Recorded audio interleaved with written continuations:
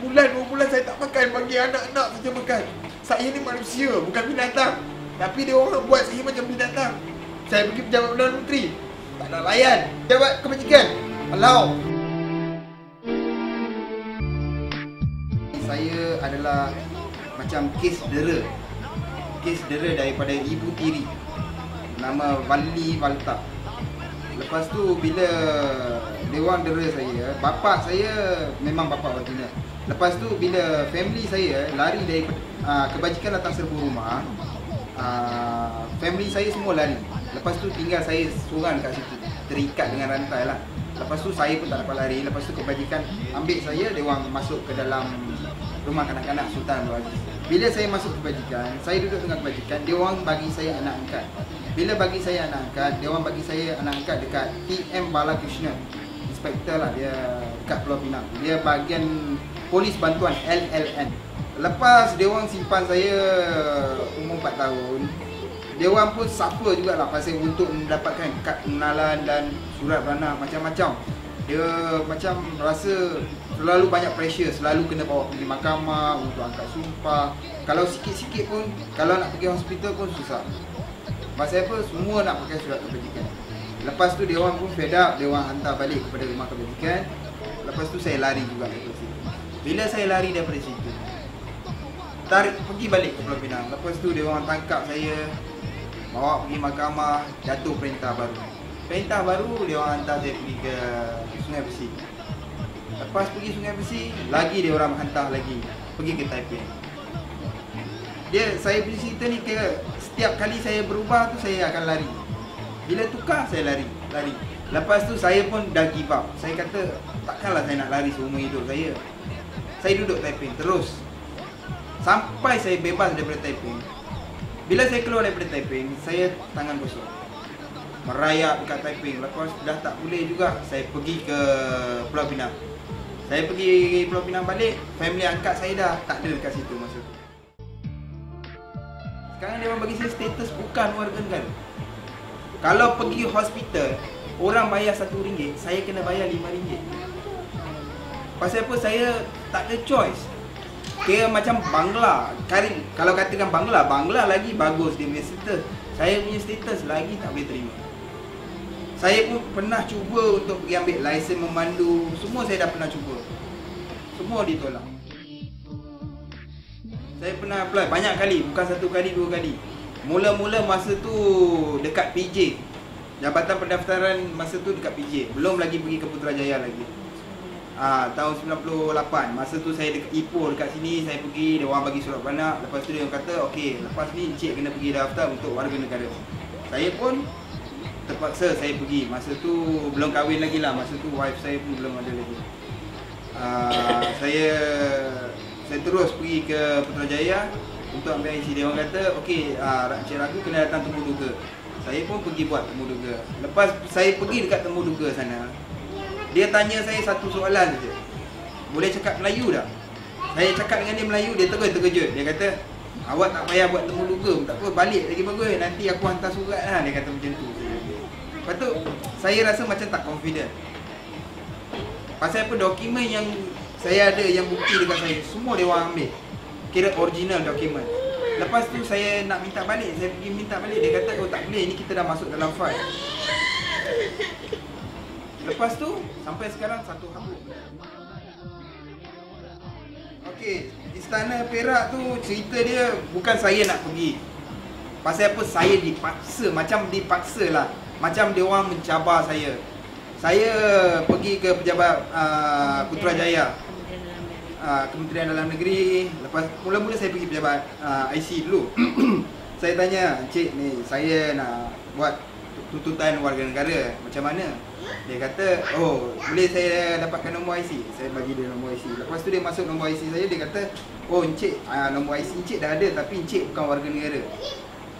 Okey lah kalau bukan warga negara macam-macam mana saya nak dapatkan status saya. Ah, Encik kena pergi Kementerian Dalam Negeri. Okey, saya pun terpaksa pergi ke Kementerian Kementerian Dalam Negeri. Lepas sampai dekat situ, saya duduk dekat setengah jam.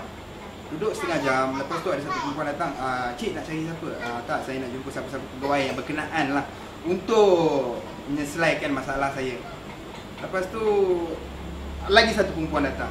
gemuk sikit lah Dia datang, dia kata, saya pun tak ingat nama dia pasal dah lama sangat ha, Dia kata, oh cik, uh, cik punya susah sikit Dia kena tunggu menteri datang baru boleh buat Saya pun tak tahu apa menteri Lepas tu saya cakap kalau macam tu kalau menteri tak boleh siapa yang boleh uh, Okey lah kalau cik tak tak boleh pergi pejabat pendaftaran tanya balik. Saya pun pergi balik pejabat pendaftaran.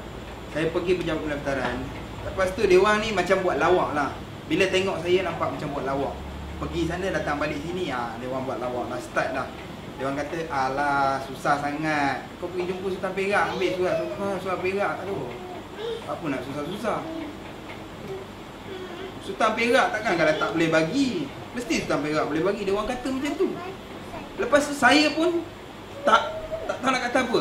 Saya pergi ke Istana Kuala Kangsar Pergi Istana Kuala Kangsar tunggu punya tunggu tak ada siapa dalam istana. Lepas tu saya pergi pejabat.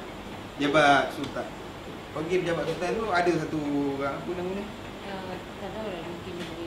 dia dia dia pembantu lepas tu saya bagi tahu lah ni saya nak jumpa sultan perak macam mana kak uh, sultan perak tak ada sini dia outstation di KL Ya, istana. Is, ah, istana.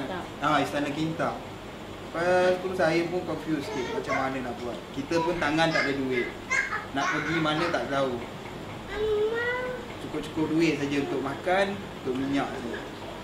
Paksa rush juga. Kita rush masuk dekat sampai istana kita tu. Berhenti dekat situ, saya pergi, saya jumpa. Saya cakap nak jumpa sultan. Lepas tu dia orang kata tak boleh lah. Macam-macam masalah lah. Saya rasa macam hina sangat ke saya ni.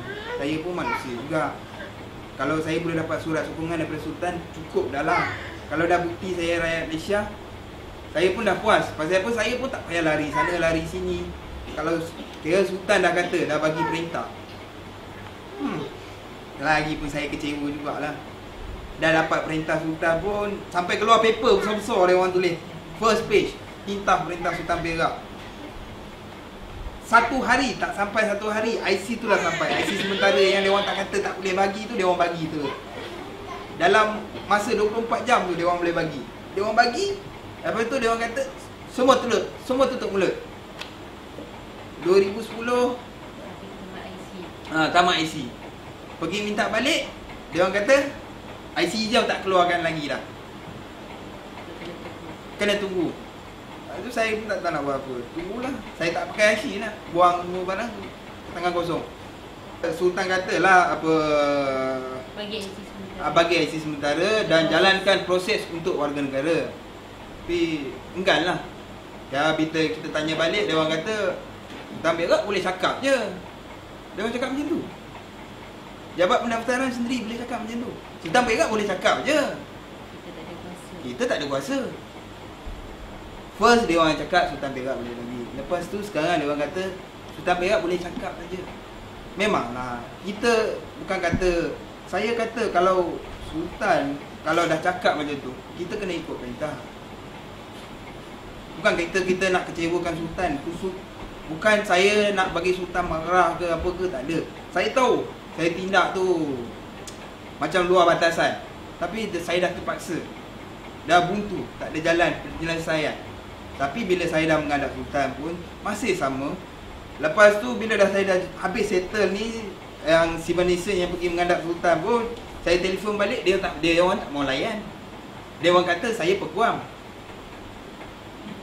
Dia orang kata kalau saya ambil kes awak 5 tahun siapa nak bayar saya punya fees? Dia orang tanya saya balik macam tu.